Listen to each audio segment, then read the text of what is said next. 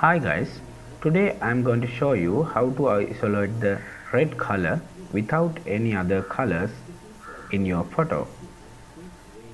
Okay, let's do it. Use the channel mixer for this. On layer palette.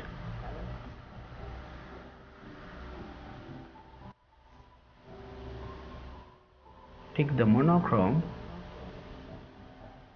Preset custom output channel gray now.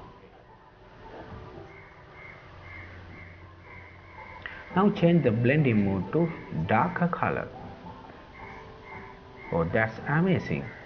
We isolated the red color without other colors. This is the thing we want to do, but you can use another options like this. Reducing opacity. You can gain beautiful colors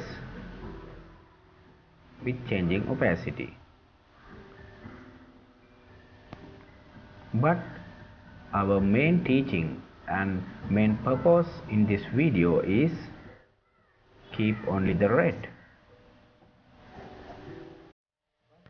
Now let's do it for any other photo.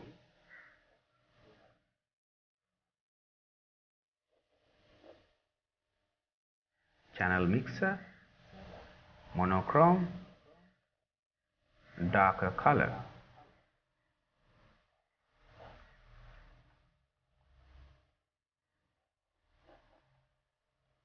channel mixer monochrome darker color. So guys thank you for watching.